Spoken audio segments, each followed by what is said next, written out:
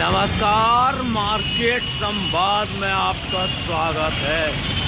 यह उत्तर प्रदेश का झांसी है और आज रात को जिस प्रकार से ज़बरदस्त बारिश हुई है, उसके बाद से यह ट्रैफ़िक व्यवस्था आप देख रहे हैं, सीपी बाज़ार के पुल के नीचे की है। स्मार्ट सिटी झांसी को लेकर जो दावे किए जाते हैं, उसमें किस प्रकार से लापरवाही बरती जाती है, उसका यह नज़ारा हम आपको दिखा रहे हैं।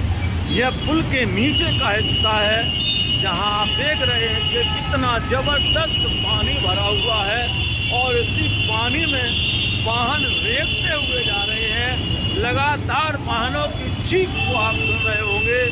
यहाँ पर निकासी की व्यवस्था अब तक सुदृढ़ नहीं हो सकी है, क्योंकि इसको लेकर रेलवे के प्रयास कई बार सफल नहीं हो पाए हैं।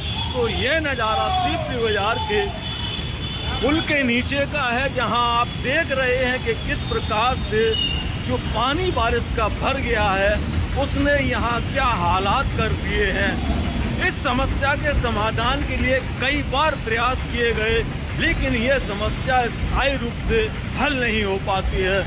कहीं ना कहीं प्रशासन को इस व्यवस्था में सुधार के लिए सोचना होगा, क्योंकि यह एक दिन का मसला नहीं है। और हमेशा के लिए इस समस्या का निदान होना चाहिए।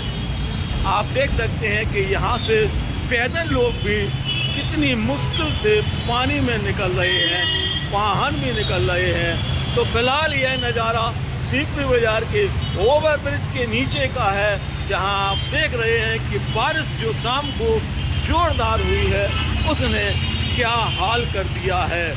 फ़िलहाल इस दिशा में निश्चय ही झांसी के जिला प्रशासन को पहल करनी चाहिए और यहाँ की समस्या का स्थायी समाधान ढूंढना चाहिए। मार्केट संवाद की रिपोर्ट, झांसी।